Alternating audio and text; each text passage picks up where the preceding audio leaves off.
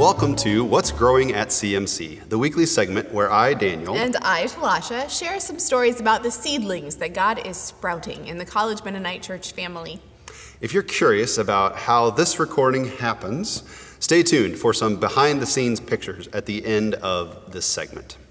We got a lovely report of what's growing from the Seth and Sarah Yoder family. Sarah reports that their family is growing in their artistic abilities with sidewalk chalk, And in their ability to handle winning and losing in family games. in their gardening ability, and in their instincts to share things they don't need with others, offering them first to people that they know before they take them to a place like the depot.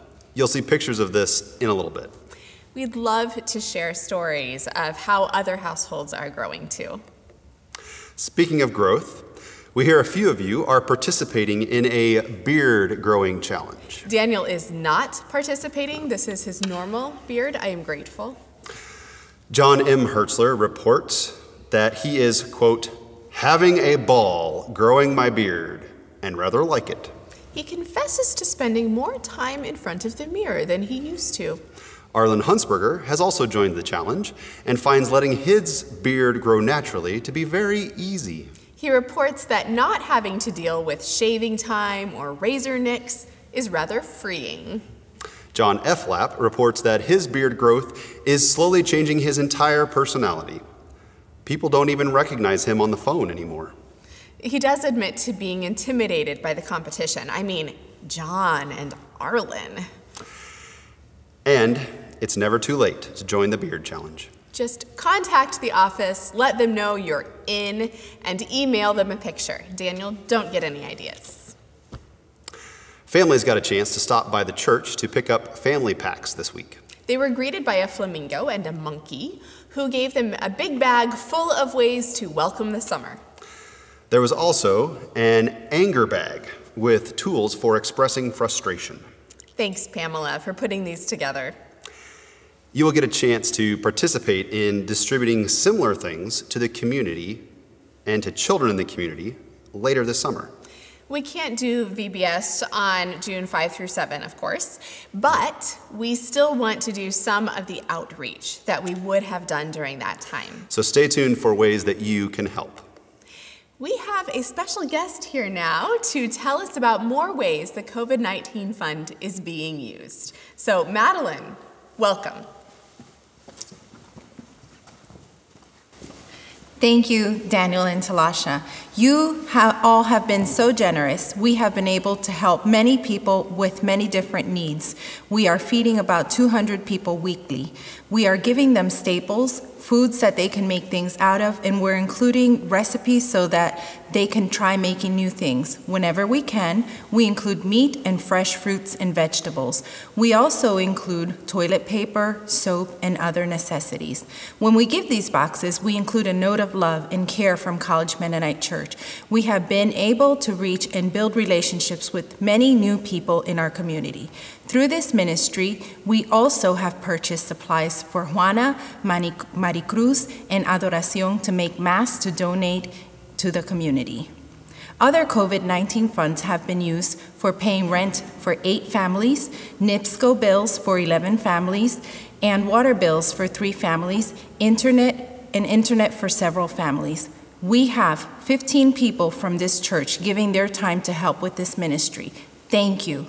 We have received many thank you notes, and I will read you a few of them. I've translated these into English since they were written in Spanish. Blessings, Pastor. How are you? I wanted to thank you for some provisions that I received. Thank you for and bless the church and all the leaders who make this blessing a possibility. May your lives be filled with rich blessings, and may the Lord continue to put in your hearts to be able to continue helping your neighbors. Thank you, Madeline. And thank you to all of you who have freely given to this ministry. This week, our staff shout out goes to Scott Litweiler. Scott, always at work behind the scenes, has needed to take on some additional roles during this time. He has filled in the jobs that volunteers normally fill. He He has set up online accounts to manage church funds, learned new software, and provided answers to all of the financial questions that you have. Scott is making it possible for us to respond quickly to the needs of our community. The work Madeline just shared about is all supported by the work that Scott is doing. Thank you, Scott, very much. I've long joked that Scott actually lives at the church, but he's proving that even when he works from home, he gets a lot done. Yejin Kim, an integral part of our CMC family, is moving to South Korea on Wednesday. Yejin will be rejoining her parents and her youngest sister there. Her other sister, Yujin, will be staying here in Goshen to complete her studies at Goshen College. And as of now, her brother Hajin will be staying here to continue work in his field of accounting. Yejin has been a huge part of our worship life here at CMC, offering her piano and violin skills regularly. She also was on staff here for a few years, coordinating our musicians. Yejin, we are going to miss you. If you'd like to help send Ye Jin off on this part of her life's journey, join a drive-by farewell on Tuesday. We will meet in the church parking lot at 2 p.m. and then drive by to wave and honk and yell our love to Ye Jin. We also want to remind you that it is time to cast your ballots for congregational representatives to the church board. Ballots can, can be submitted online and are due by May 31st. The work of the church continues, even when we can't be together. We are all getting impatient to be together again. We are working closely with the college to coordinate how and when we can reopen. We know we will not gather at least until July, and we aren't sure what things will look like when we are back together. It's time to get creative. The people of God learned during the time of the exile that God can be worshiped in ways that they hadn't imagined. And the same is true for us now. Learning to worship and be the people of God in new ways isn't a new thing, and we're in good company. The church choir is doing this already. One of the things that they missed about choir was the sharing and prayer that they always opened their rehearsal times with. So, they have stayed in contact through email and phone calls and Zoom meetings so that this important part of the choir ministry can continue. Singing together on Zoom is less than satisfying, so the choir is hoping to put together a virtual choir performance. Speaking of singing over Zoom, we may have said last week that Sojourners is singing together over Zoom. Yeah, and when I heard that, I thought, wow, I can hardly get the youth to say the Lord's Prayer together over the Zoom. But then I thought, well, it's Sojourners. So surely they can find a way. Well, it turns out Sojourners are humans, just like the rest of us. We reported incorrectly. Someone plays a hymn that they listen to. They don't actually sing together over Zoom. Okay. Now back to the CMC Chorale. They are aware that singing together is like coughing on each other. So they know it will be a while before things return to normal for them. They are carrying on in faith and hope. Thank you, choir, for giving us a window into your worshipful life together. Speaking of worship, next Sunday is Pentecost. Come to worship prepared. You will need communion elements. Anything made of dough, like bread or crackers, will do for the bread. And any natural beverage, as in not pop or Gatorade or Kool Aid, that will do for the juice. You may also want to bring some bubbles and or some fiery cloth that you can wave. And don't forget to wear the colors of fire. Share your pictures of your Pentecost attire and activities with us. And if we can get enough of them, we can create a Pentecost photo collage. There's something growing here at CMC. We are grateful to be on this spirit filled journey with all of you. And we'll be back next week with more stories. God was, God is, and God will be. Thanks be to God.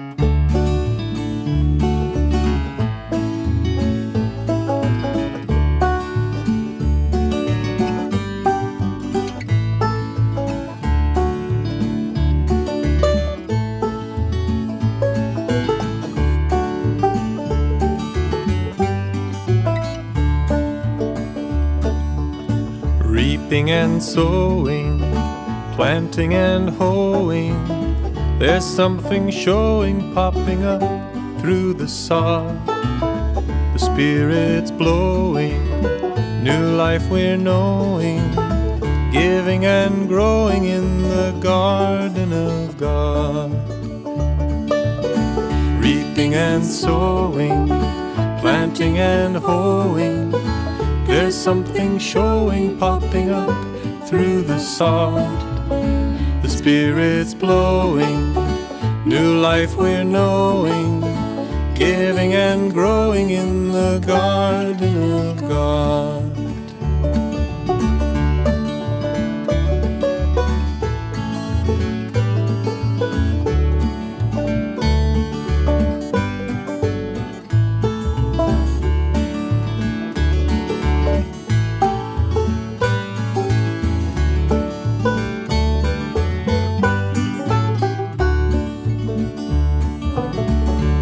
and sowing, planting and hoeing.